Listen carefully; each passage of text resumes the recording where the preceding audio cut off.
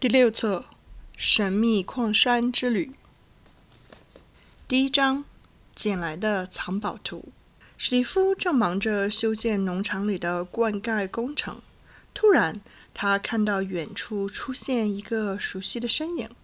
史蒂夫，那个身影是露西。他一边喊，一边小跑着穿过麦田，身后跟着朋友亨利和麦克斯。我都不知道你们来村子里了。史蒂夫见到老朋友很高兴。我们不会待很久，亨利告诉他。我们是来接你去寻宝的。不错啊，可是我只想待在农场里。我正在建一个新的灌溉工程，庄稼都长得不太好，需要多浇点水。史蒂夫站在一块萝卜地旁边，里面的萝卜都快要干死了。那不着急，露西坚持道：“我听说有一座魔法山，里面有好多好多钻石，你也一起去吧。”“真的吗？”史蒂夫问。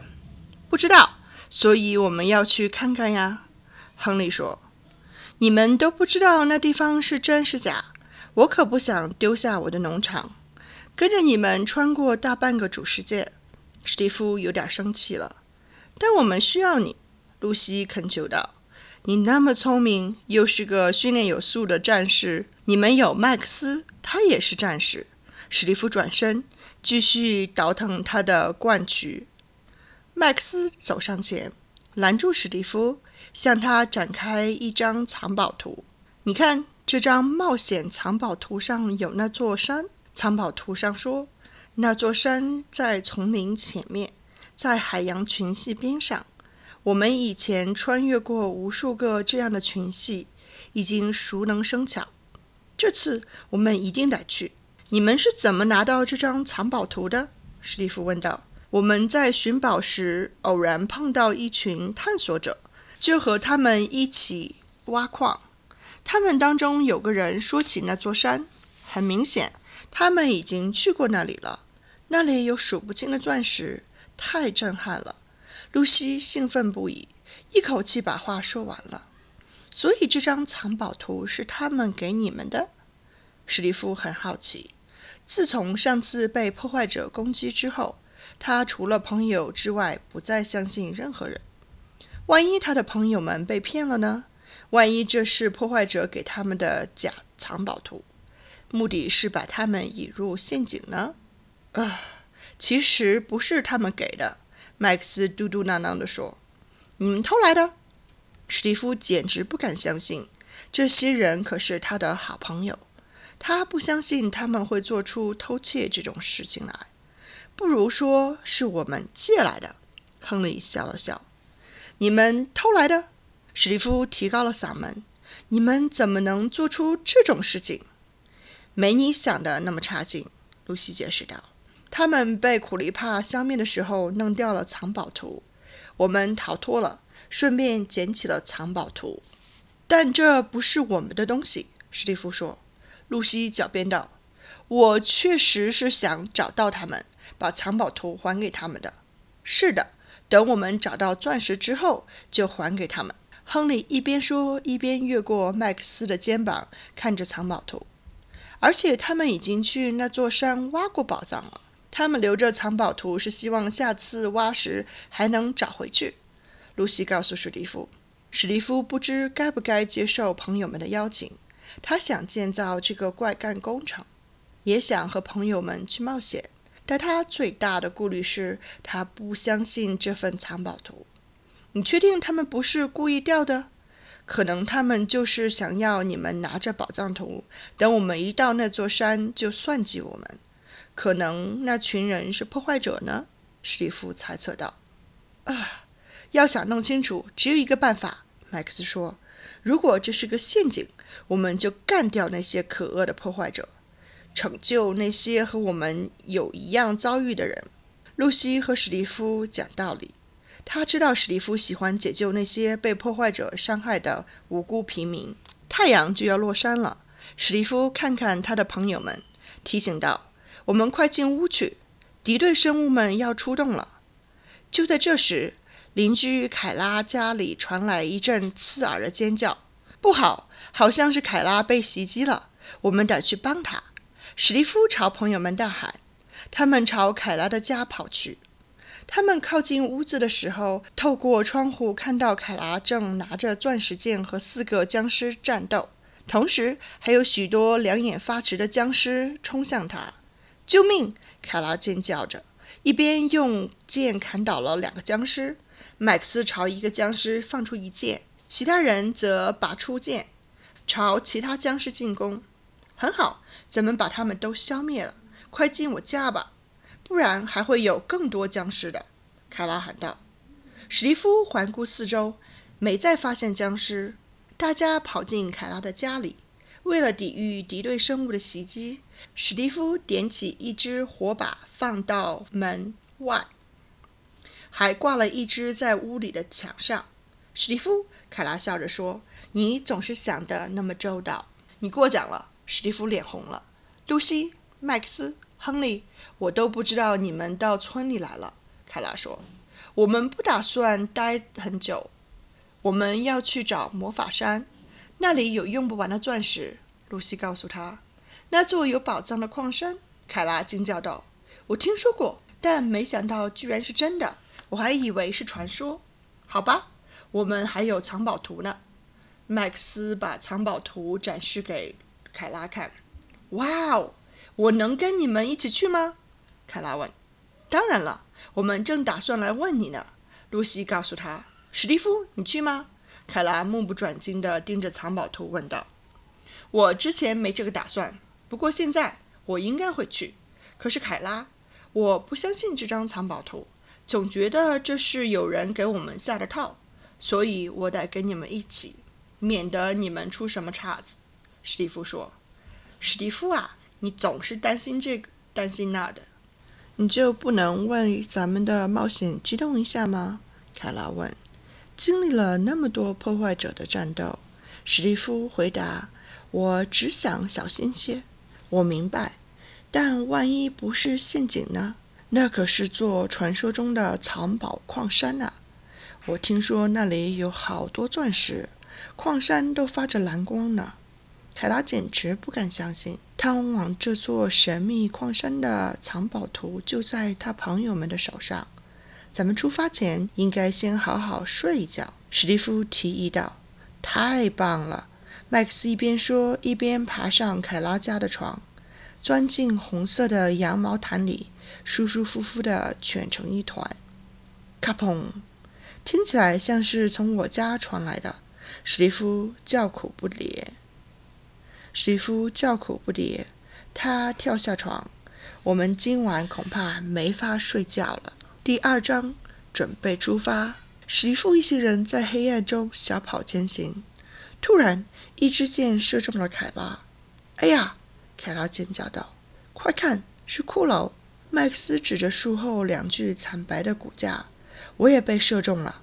露西惊叫起来，“太黑了，我什么都看不见。”他们在哪儿？他掏出弓和箭。麦克斯朝着那些骷髅射出一箭。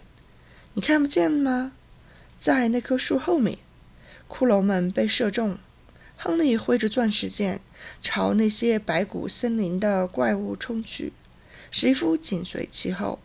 他们拼尽全力与那些骷髅奋斗。咔咔咔！骷髅们都被消灭了。留下的骨头发出咔咔的脆响。快去我家！史蒂夫指挥道。我得看看是什么东西被毁了。麦克斯朝房子跑去。突然，他掉进了一个洞。啊！天哪！他大叫。快帮我一把！史蒂夫家附近有个梯子。他把梯子递给麦克斯。麦克斯缓缓地顺着梯子，小心翼翼地从黑暗中爬出来。我估计这附近发生了爆炸。亨利盯着洞说道：“看样子是骷髅杀了苦力怕。”露西捡起一张 CD 说道：“谢天谢地，这一切都是在农场外面发生的。我的农场再也经不起折腾了。”史蒂夫长吁了一口气，他的农场都还完好无损。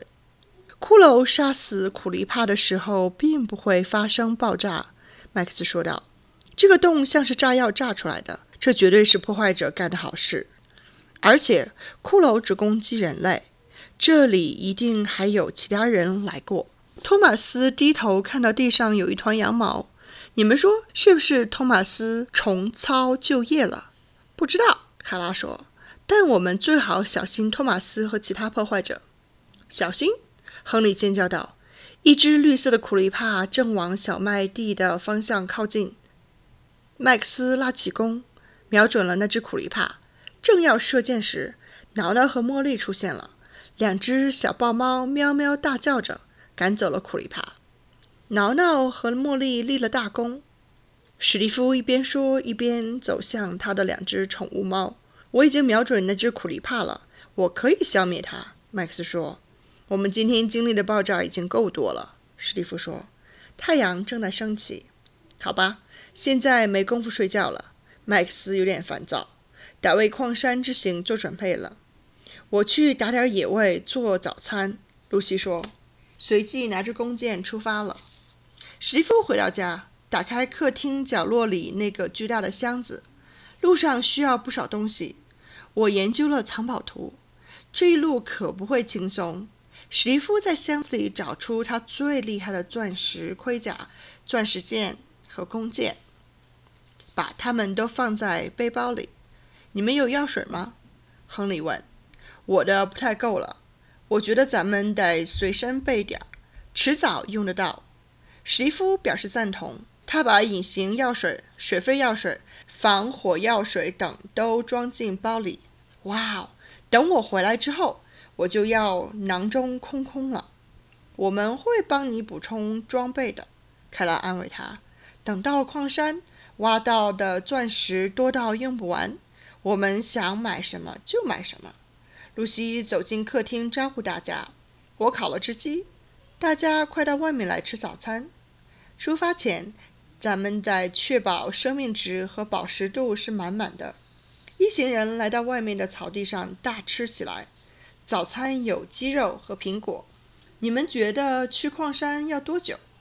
凯拉一边问，一边咬着一口肥美的鸡肉。麦克斯盯着藏宝图计算距离。我估计要两天，但不知道路上会有什么状况拖慢我们的行程。亨利看着藏宝图说：“我们要不要先去丛林神殿挖点宝？”“行啊。”麦克斯看着藏宝图回答道：“我们天黑之前就能到那儿。”一行人为这场旅途兴奋不已。他们刚吃完鸡肉，就有一只兔子跳到他们身边。麦克斯掏出了弓和箭。没必要杀它，露西说：“我们才吃饱鸡肉，现在还吃不下炖兔肉。我觉得这只兔子有问题。”麦克斯一边说，一边审视着这只毛茸茸的小兔子。小兔子很温和的。凯拉拿起一根胡萝卜，靠近那只兔子。站住！麦克斯喝住他。快看他恶毒的眼神！那只兔子眼神凶狠，露出大牙，扑向凯拉。凯拉！史蒂夫拿出了弓和箭，小心！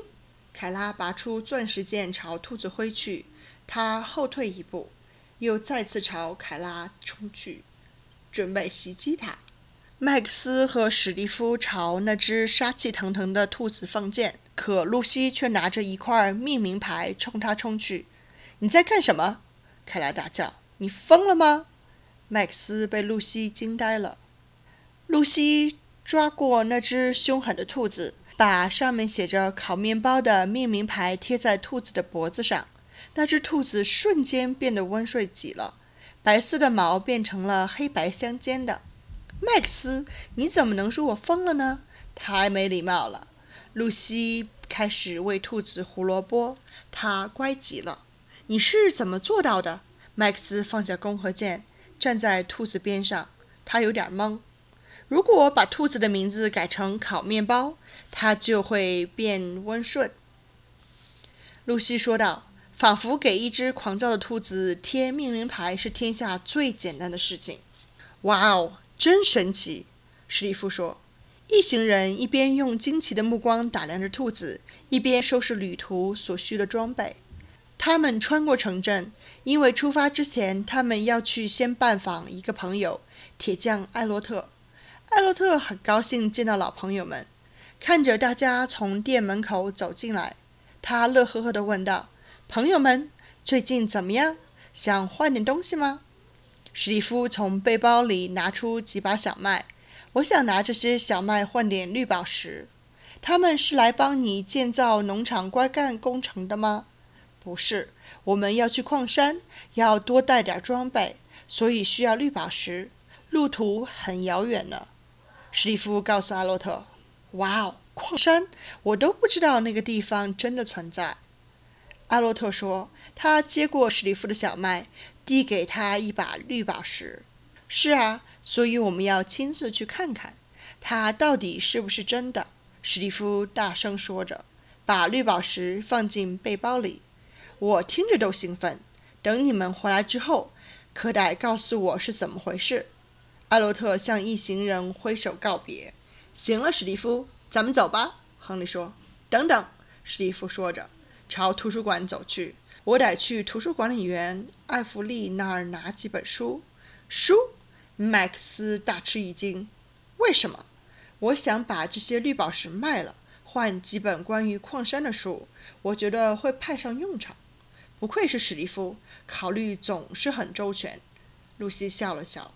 见到史蒂夫走进图书馆，艾弗利跟他打招呼：“史蒂夫，你这是要去哪儿？”“我要去矿山。”史蒂夫回答。你有关于矿山的书吗？当然有。艾弗利领着史蒂夫来到一排书架前，上面拿着一捆皮革封面的书。就在这儿，史蒂夫拿起三本书说：“我想拿绿宝石换这些书。”没问题，史蒂夫。但你得保证一回来就来找我。我只在书里读到过矿山的事，真想亲耳听听去过那儿的人讲讲那里的事。艾弗利一边说，一边感激地接过史蒂夫的绿宝石。史蒂夫把书放进书包，和朋友们出发了。一行人走出小镇，走进茂密的丛林中。史蒂夫边走边想：但愿他此行能拿到足够的钻石，回来还能从艾洛特那儿把麦子换回来。他深吸了一口气。确实，他想去传说中的矿山一探究竟。但心底仍隐隐觉得矿山是不存在的，而他们正踏入一个陷阱。第三章，假藏宝图。一行人来到一片茂密的丛林，站在一条窄窄的小径上。麦克斯指着左边说：“藏宝图上说神殿就在这儿，一定是在树丛后面。”亨利说。史蒂夫在麦克斯说的地方砍下几丛树叶，后面却什么也没有。我们就说这藏宝图是假的。麦克斯一语不发地研究着藏宝图。麦克斯，确定是在左边吗？亨利问。麦克斯继续看着藏宝图，没有回答。亨利走到史蒂夫刚刚砍树叶的地方，透过头顶的树丛看去。说道：“我好像看见什么东西了。”大家跟上亨利，远远看去，他们认出那是一群苔石，看上去像是座神殿。我就知道，麦克斯惊叫道：“藏宝图是对的，只是比例看上去和实物稍微有点不一样。从藏宝图上看，神殿离我们现在的位置近多了。”史蒂夫砍光树叶，辟出一条通向神殿的小路。他们走近了些，看到了入口。这绝对就是丛林神殿了，露西兴奋地说：“但愿宝藏还在，我们是最先到达的。”嘘，凯拉提醒他，然后压低声音说：“听到什么声音了吗？”突然，大家都停住了。他们听见有人在说话，我听见了。露西低声说：“但愿不是破坏者。”大家四处查看，但没发现他们的踪影。看前面，麦克斯指着两个戴蓝色头盔的人，他们正朝神殿走去。露西赶紧提醒：“嘘，不过为时晚矣。”那两个人正站在神殿旁边。麦克斯的大嗓门引起了他们的注意。“你们是谁？”其中一个人问。“我们还想问你们呢。”史蒂夫没好气地反问。“没什么好遮遮掩掩的。我是碧翠丝，这是查理。”那人朝他们走来。麦克斯看到查理手上也有一份藏宝图，便问道：“你们的藏宝图从哪里来的？”“不关你们的事。”查理喊道。跟我们的藏宝图看起来好像。麦斯顿了顿，说道：“在你们的藏宝图上，神殿是不是也比实际上看上去近？比例是不是有点小？”“对啊。”查理很吃惊，问道：“你怎么知道？”史蒂夫：“可能你是对的。”麦克斯说：“这就是个陷阱。”“什么陷阱？”碧翠丝问。能告诉我你们是从哪儿得到这张藏宝图的吗？麦克斯问。告诉他们吧，碧翠丝对查理说。查理说：“我们是从一群探索者那儿拿到的，他们人很好。他们是叫兴奋探索者吗？”麦克斯问。“对啊！”碧翠丝吃惊的大叫。“我就说不该相信这份藏宝图。”史蒂夫说。你们说什么呢？碧翠丝糊涂了。他们人很好，还说他们没法自己去寻宝，就把藏宝图送给我们了。不是白送的，查理补充道。我们拿两颗钻石和一颗绿宝石换来的，就为了这么一张假藏宝图。麦克斯问：“怎么了？你们是拿什么跟他们换的？”麦克斯没回答，只是说：“我觉得我们应该进去看看到底是真是假。”大家朝神殿走去。他们走下楼梯去找宝藏，一路上都没发现破坏者。大家绕过半线，拿出镐，想把藏宝箱挖出来。我觉得我们得拉起这根杆。查理说：“别动！”麦克斯大叫，但已经来不及了。查理已经拉动了拉杆，一支箭从空中划过。我中箭了！露西大叫。查理很愧疚，没想到这是个机关，真对不起，我只是个建筑工，不是寻宝猎人。没错，我们才是专业的寻宝猎人，你应该乖乖听我们的。亨利对他说：“亨利，你友好点儿，行吗？”露西责怪道：“瞧瞧，我发现了什么？”亨利笑了，他面前出现了两个大箱子，快打开！凯拉大叫：“对，快看看里面是什么！”查理走进那两个箱子。碧翠丝走到一个箱子边，却一不小心跌进了陷阱。轰隆！炸药爆炸的巨大响声传来。大家都还好吗？史蒂夫大叫。四周一片寂静。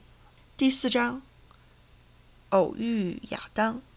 你们都没事吧？史蒂夫又大声问。我没事儿，麦克斯大喊。听到回应，史蒂夫松了口气。但是查理和碧翠丝不见了。露西立马说：“天哪，他们被炸药炸死了！太糟了！我真好奇他们会在哪儿复活。消失的不止他们呀。”亨利指着宝箱，那两个藏宝箱也在烟雾中消失不见了。他们是怎么做到的？史蒂夫说：“我也不知道。”亨利目瞪口呆说：“我就知道不应该相信他们。”史蒂夫一边踱步一边说：“麦克斯背着背包，突然大叫：‘藏宝图！他们把藏宝图也拿走了！’什么？怎么会？”史蒂夫简直不敢相信自己的耳朵。很明显，他们是老扒手了。亨利说：“现在我们只有一个办法了，找到他，把藏宝图拿回来。”史蒂夫对大家说。不过，我们得先消灭那个骷髅。露西指着一个骷髅，他正从楼梯上走下来。咔，咔！骷髅拿着弓箭，瞄准史蒂夫。麦克斯跑了过去，给了他致命一击。干得漂亮，麦克斯！露西称赞道。我们得赶紧离开这儿。亨利很担心，他发现角落里还有一块炸药。我怀疑查理和碧翠丝已经在神殿周围埋满了炸药。我们得赶紧撤。一行人跑出了神殿，回到丛林中。虽然没了藏宝图，但至少他们知道此地不宜久留。我看到远处有个村子，凯拉指给其他人看。史蒂夫看到几家商店，旁边有一块农田，里面养着一群羊和一匹马。我看到了，我们过去吧。他们踏上黄色的草地，走进村庄，那里街道铺满了药石。要不要去肉店看看？露西问。我们得吃点东西了。不用，我的饱食度还够。你的肌肉还真管饱。亨利说。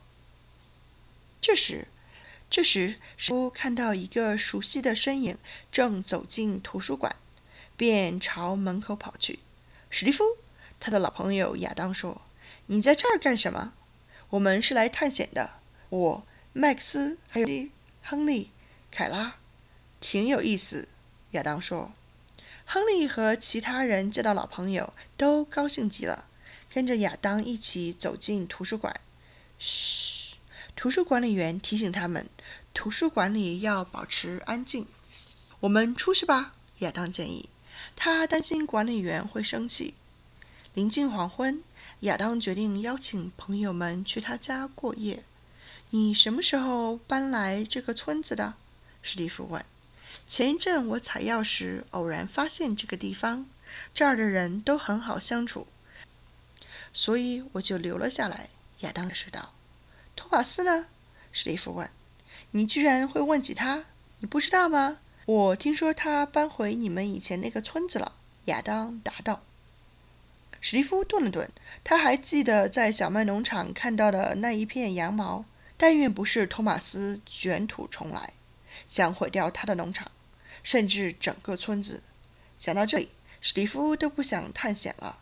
他想赶紧回家，看看一切是否平安。当然，他很想去寻找矿山，但不想为了这么一个都不知道是否存在的地方，毁掉自己辛苦劳动的成果。各位，史蒂夫对大家说：“现在没有藏宝图了，要不我们回家吧？”回家？不。我们会找到的，别担心。亨利试图说服史蒂夫继续冒险，但他现在什么都听不进去。亚当打断了他们：“什么藏宝图？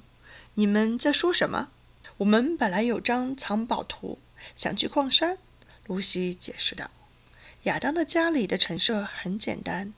他走到壁炉边，打开箱子，拿出一张藏宝图。“是这样的吗？”麦克斯抓过亚当手里的藏宝图，研究起来，然后点点头说：“就是这个。你从哪儿拿来的？”前阵子村里来了几个探索者，他们拿着这张藏宝图换了些药水。我一直想去矿山，但没法一个人去。亚当越过麦克斯的肩膀，看着藏宝图。那么现在你不是单打独斗了？露西说：“我们和你一起去。”是的。史蒂夫说：“我们明早就走。”亚当震惊极了，真不敢相信矿山之旅居然梦想成真了。大家都睡下了，史蒂夫却还在想托马斯，想他可能会在镇子里做的坏事。他突然意识到，矿山他们是去定了，因为他需要尽可能多的钻石来重建家园。史蒂夫想着想着就睡着了。还梦见托马斯炸掉了商店和房屋。没过多久，史蒂夫就醒了。从客厅传来奇怪的声音，听上去像门口有人。别动！史蒂夫一边对其他人说，一边穿上钻石盔甲。我去看看谁在门口。史蒂夫穿过亚当的客厅，原来是一个眼神空旷的僵尸，正把木门上的铰链扯下来，准备作战。史蒂夫召集大家，一行人穿上盔甲，冲到门口。史蒂夫挥起钻石剑，砍倒了僵尸，但是门外还有更多僵尸朝他们靠近。麦克斯朝僵尸放箭，其他人则举剑冲向僵尸，但僵尸大军看上去没完没了。史蒂夫和朋友们有些担心，他们恐怕毫无胜算。如果这时太阳升起来就好了，史蒂夫一边说一边打倒一个僵尸。我觉得不太可能，亨利说着，一剑消灭了两个僵尸。看，救兵到了，露西说着，一片箭雨朝僵尸飞去，结束了这场可怕的噩梦。两个戴着红头盔的人朝史蒂夫一行人跑来，帮他们退了可怕的僵尸。终于，僵尸全被消灭了。卡拉问：“你们是谁？”“我是欧文，这是我的朋友塞勒斯。”他们是我邻居，亚当解释道。太阳即将升起，露西提议和我们一起吃早餐吧。真感谢你们救了我们。僵尸还会攻击其他人，我们只是在保护这个村子，不用谢我们。塞勒斯说：“不不，我们一定得谢谢你们。”露西说：“大家在亚当的农场美餐了一顿。”吃的是苹果土豆大餐，你们能帮我看家吗？亚当问两邻居。我马上要和朋友们出门，得出去一段时间。你要去哪儿？塞勒斯问。我们去逛山。露西告诉他们。我们本来是打算和我们的两个朋友查理和碧翠丝一起去的。他们有一张藏宝图，上面什么都有。塞勒斯说。露西不说话了。他没听错吧？查理和碧翠丝可是偷宝藏的贼呀！加入我们吧！史蒂夫边说边看着他的朋友们。搞不好你们在矿山会再见面。大家都震惊极了，没想到史蒂夫会邀请查理和碧翠丝的朋友。其实他是想通过塞勒斯和欧文找到查理和碧翠丝，然后抓住他们一问究竟。为什么要偷藏宝图？而且史蒂夫明白，让潜在的敌人待在身边并不是坏事，因为这样可以更好的提防他们。你们有藏宝图吗？塞勒斯问。有，路上需要的各种东西我们一应俱全。亨利说。把路上所需的装备准备齐全后，他们站在亚当的藏宝图边上，开始规划行程。看样子，我们得穿过沼泽地，麦克斯说。但愿我们不会被史莱姆攻击。露西发自内心的祈祷。一行人踏上旅途。远方的地平线上，沼泽地隐隐浮现。第五章：战士和女巫。夜幕渐渐降临，大家来到了沼泽地旁。天色渐沉，一轮明月升起。在夜空中洒下微弱的光亮，得找个地方避一避。史蒂夫环顾四周，打算先建个简单的栖息之地。凯拉收集了木板来帮，大家齐心协力建房子吧。一会儿咱们就安全了。大家分别找来能找到的东西，一起帮忙。突然，一只蝙蝠嗖地飞过。差点撞到史蒂夫，这可不妙。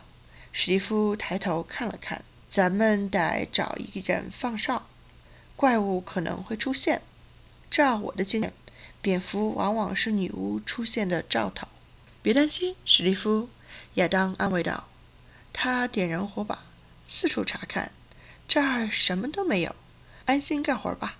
大家以最快的速度盖起了房子。马不停蹄地收集起了材料，真不敢相信，大家一努力，居然这么快。露西又拿来木板。是啊，凯拉也很开心。咱们终于可以睡个好觉了。塞勒斯给房子装上门，欧文用羊毛和木板做好了床。大家快进来吧，欧文说。床快铺好了，搭完木板。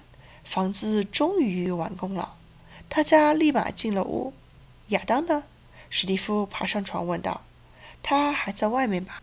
塞勒斯说。“我去找他。”史蒂夫跟上塞勒斯，一起出门找亚当。没看见他。塞勒斯四处看看，开始担心了。还是穿上盔甲吧，不然在外面不安全。两个人穿上钻石盔甲。塞勒斯戴着他的红皮头盔，进入了沼泽区深处。他们艰难地沿着一条河前行，河水不深，但一片昏暗。河道两边开着百合花。这时，又一只蝙蝠撞到史蒂夫头上。亚当去哪儿了？塞勒斯越发担心起来。他能走多远呢？但愿他还活着，不然他会在家里复活，那样就去不成矿山了。他明明那么想去的。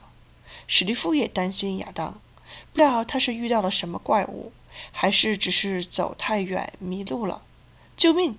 突然有人大喊：“是亚当！”塞勒斯的喊：“看！”史蒂夫指着前面大叫：“一个沼泽小屋！”两人小跑过去。只见亚当正和女巫交战，女巫朝他泼药水，他的行动立马迟缓了。史蒂夫冲向女巫，挥起钻石剑，女巫拿起剩余的药水泼向史蒂夫。我要不行了！亚当朝塞勒斯大喊：“快跑，亚当！”塞勒斯大喊，但亚当无法动弹。塞勒斯射中了紫袍女巫，但她喝下药水，立马恢复了体力。拿起另一瓶力量强大的药水，正要对亚当泼过去，这时塞勒斯及时冲向女巫，用钻石剑刺中了他，而史蒂夫用他仅剩的力气给出最后一击，消灭了女巫。史蒂夫把掉落的甘蔗捡了起来。亚当，你还好吗？史蒂夫问。塞勒斯给亚当一剂治疗药水，他一下子就喝完了。谢谢你们救了我。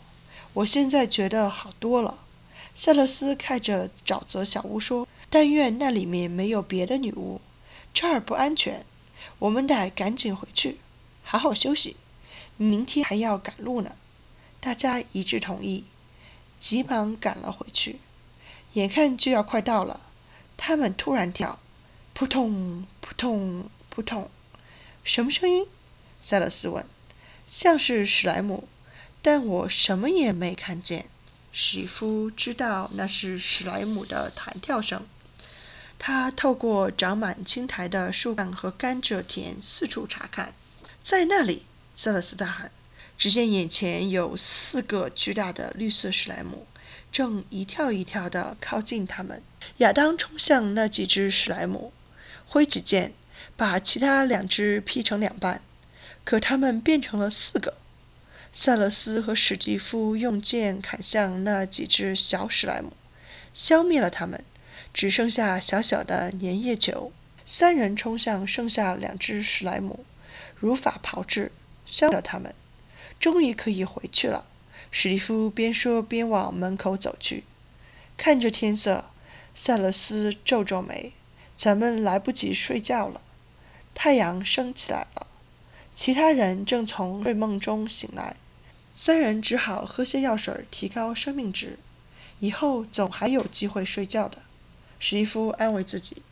露西走进客厅，和他们打招呼：“你们昨天一整夜都在打怪？”“是啊。”史蒂夫回答。“哇，真了不起！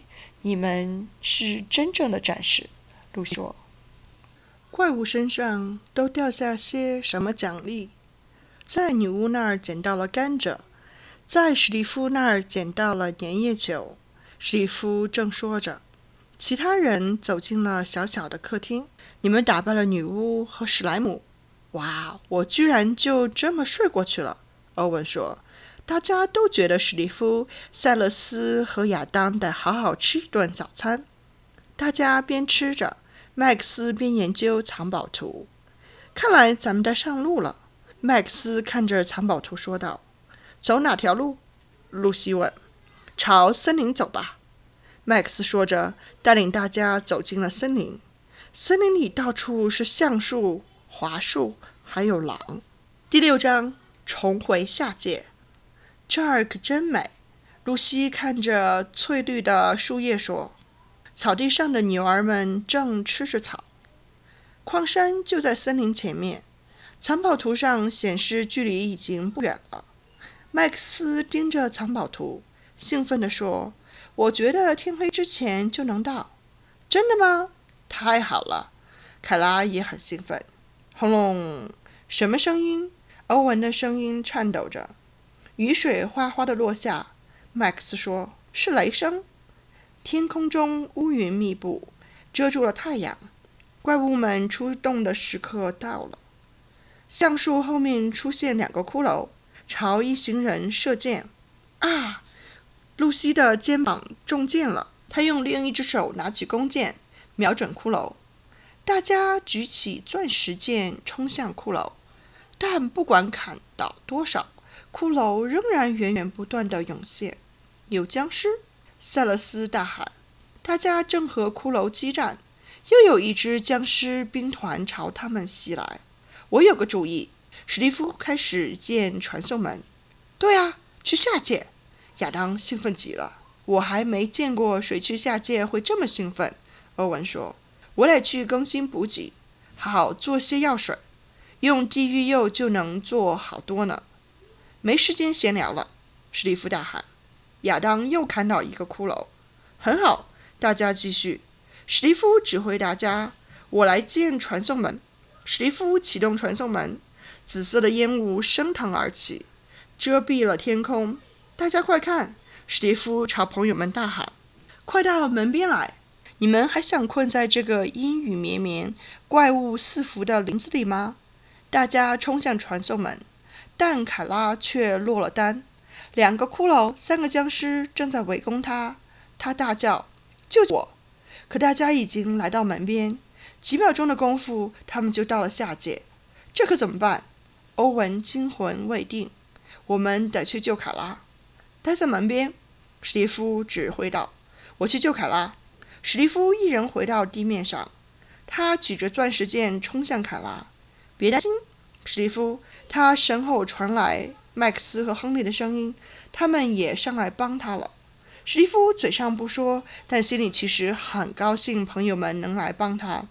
三人冲向凯拉，和僵尸骷髅作战，战斗十分激烈，三人的血槽也快空了。我们赢不了的，史蒂夫说：“你们能不能再坚持会儿？我再建个传送门。”我们尽力！卡拉大叫一声，杀死一个骷髅。他甚至没时间捡掉下来的骨头，因为另一个僵尸随他身后。史蒂夫用掉最后一块黑曜石建好了传送门，这是最后的机会。我没黑曜石了，现在快撤！马上！见史蒂夫已启动了传送门，卡拉冲向史蒂夫，紫雾升起，传送门发出巨大的响声。他们马上就要跟朋友们会合了。会没事的，史蒂夫说着。只见眼前一片红光，他们来到了下界，旁边是岩浆瀑布。不，还早呢！麦克斯大叫。一阵刺耳的声音穿透他的耳膜，火球朝他袭来。麦克斯掏出弓箭，射向火球，将它弹了回去，射中了一个白色的恶魔。干好，麦克斯！史蒂夫边夸他，边四处寻找失踪的朋友们。他们去哪儿了？亨利爬上一根立柱，朝远处看去，高处视野更好。看到他们了吗？凯拉问道。他呼唤着朋友的名字，但没有回应。没有，什么也没看见。亨利失望极了。看，亨利跳过岩浆池，指着前面。我看到要塞了，那儿肯定能找到他们。三人朝要塞跑去，入口就在眼前。这时，他们听见叽叽的声音，这可不是鸟叫。麦克斯抬头望天，三个恶魔正朝他们飞来。拿好弓箭，亨利指挥道：“我不是天气预报员，但我知道几秒后我们即将迎来火球暴雨。”麦克斯朝他们放箭，一个恶魔喷出火球，另外两个飞走了。他们害怕攻击。亨利说着。他的箭射中了火球，把火球给反弹了回去。快，咱们快进要塞！史蒂夫跑进入口，主房间里空无一人。他们会不会已经找到宝藏了？麦克斯问。露西、欧文、塞勒斯、亚当，史蒂夫大喊，但没人回答。但愿他们还在这儿，凯拉担心地说。万一他们已经被恶魂杀了，回主世界了怎么办？至少我们得试着找到宝藏。不然岂不是白来了？亨利边说边在要塞里寻找宝藏。凯拉站在楼梯边问：“史蒂夫，是不是地狱柚一般都长在这里？”史蒂夫端详着楼梯边缘，只见灵魂沙里没有任何红色的地狱釉。没错，是这样。不过看起来他们应该已经被别人摘走了。肯定是亚当，他说过要拿地狱釉做药水的。凯拉希望朋友们还在这里。亨利路过拐角，突然大叫一声：“哎呦！”一个凋零骷髅用石剑刺中了亨利。亨利被凋零效果控制了。别怕，这一招只会持续十秒钟。史蒂夫朝他喊：“史蒂夫朝他喊。”麦克斯击中了载着凋零的黑石，消灭了凋零骷髅，捡起头骨。亨利的凋零效果还没有完全退去。你还好吗？史蒂夫问。不知道，我觉得怪怪的。亨利的血槽仍在下降。快喝这个药。麦克斯递给他一瓶能迅速恢复精力的药水。药？听见有人刚才说要。说话的是亚当。大家一起走了进来。你们发现宝藏了吗？亨利问。没有，我觉得这地方已经被洗劫一空了。塞勒斯答道。我倒是找到了一大堆做药水的材料。亚当说。该回主世界了。我不想再待在下界了，这儿太危险，也没什么收获。史蒂夫讨厌下界。之前建传送门是为了逃离那些僵尸和骷髅。现在他巴不得赶紧再建一个，回到地面世界。我们还有多余的黑曜石做传送门吗？卡拉问。大家都停下脚步，翻着背包，看还有没有黑曜石。大家快跑！亨利提醒。大家抬起头。不会吧？露西大叫。五个黄色的烈焰人同时飞进房间，他们的身体旋转着。像漂在水里一样柔软，身上冒着火，喷出三枚火球，瞬间将所有人包围在火海中。第七章，荣耀之光。我有雪球，麦克斯叫来朋友们，拼命地朝怪物们扔雪球。我也有，凯拉把雪球递给大家。但想打败这些喷火的怪物，光用雪球还不够，得找到刷怪龙。塞勒斯拿着一个雪球，朝烈焰人跑去，把他撞倒在地。他飞快地跑过大厅，寻找刷怪龙的房间。其他人继续扔雪球灭火，并朝那些可怕的怪物放箭。找到刷怪龙了！塞勒斯喊：“很好，我们的雪球也快用完了。”麦克斯大叫：“没戏了！”亨利叹气。就算萨勒斯能破坏刷怪龙，咱们也没戏了。别轻易放弃，史蒂夫说：“我有个计划。”麦克斯的雪球扔完了，你们还有雪球吗？没了。史蒂夫把隐形药水递给大家，每个人喝了一大口，所有人立马不见了。猎人不知道目标去哪儿了，一下子懵了。他们总不能朝空气扔火球吧？大家立马冲向塞勒斯，帮他破坏刷怪笼。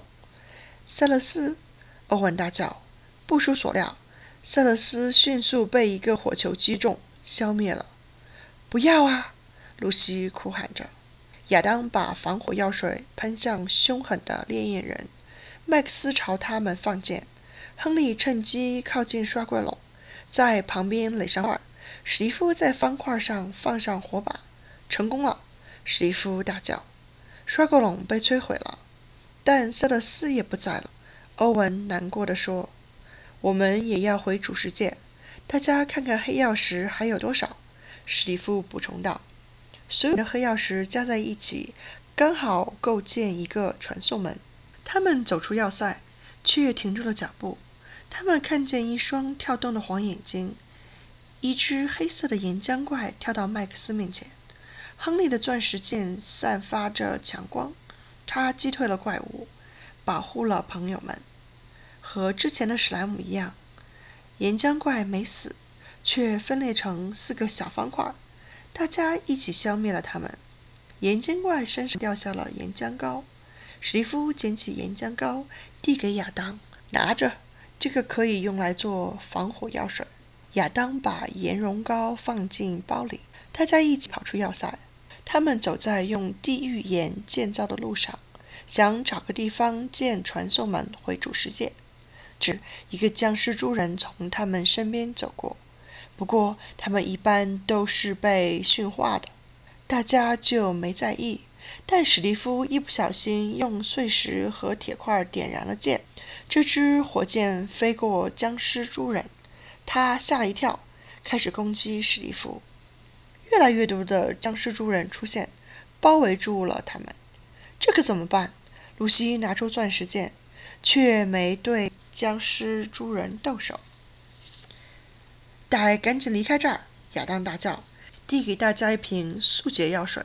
瞬间，大家飞快地撤退，来到一座桥前，越过一条宽阔的岩浆河，安全了。露西长舒一口气。但传送门不在这儿，所有的黑曜石都在刚才那个地方。现在咱们被困在下界了。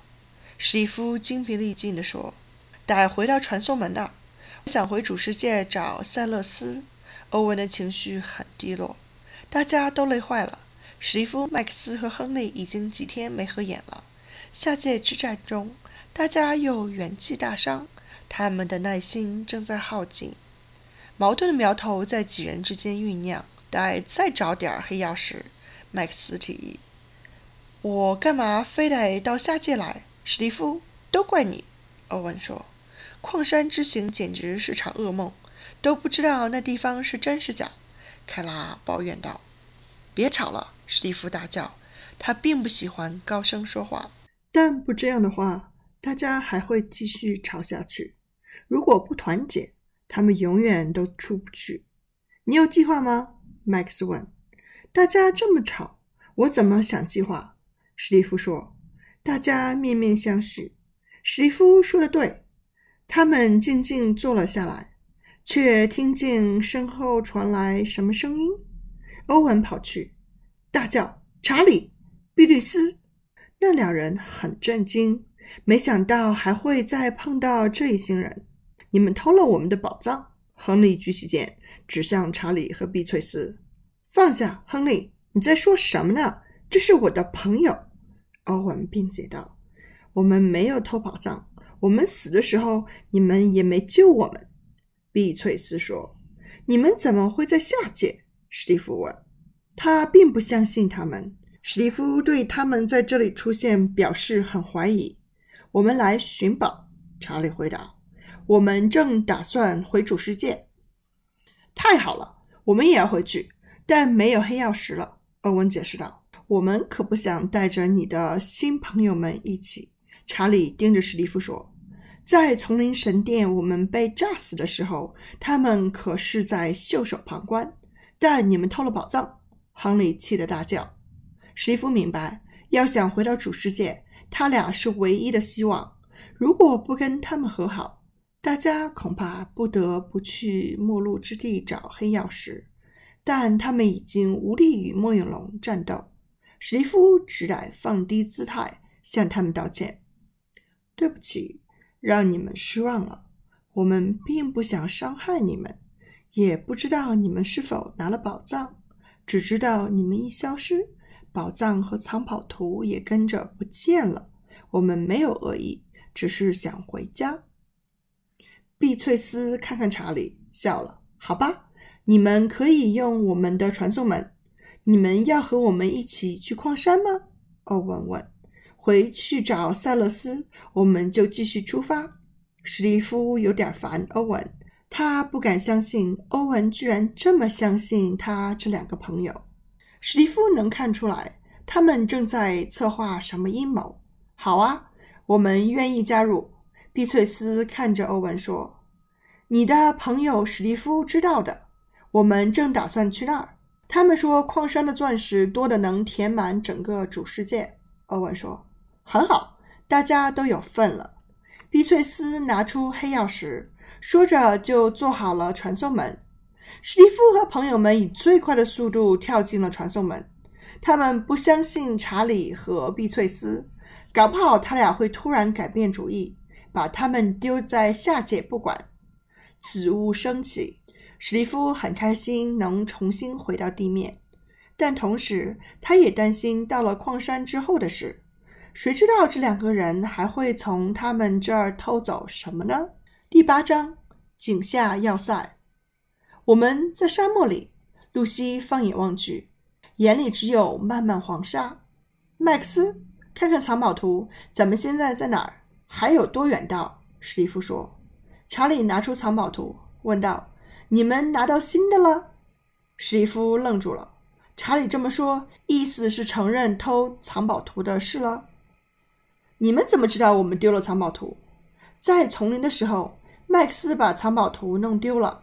我本来打算还给他的。可后来我们就死了。查理把藏宝图还给了麦克斯。我也有藏宝图，亚当补充道。我们一路上就是靠他的。查理和麦克斯把三张图放在一起研究起来，想看看三份是不是都一样。看起来都一模一样。麦克斯笃定地说：“到底有多少藏宝图？我们这儿都有三张了，搞不好外面一模一样的藏宝图正满天飞呢。”等我们到矿山，宝藏估计早就被人拿光了。”露西说道。大家起身，跟上麦克斯和查理的步伐，准备出发去矿山。可史蒂夫却在看书。史蒂夫，你在看什么呢？凯拉问。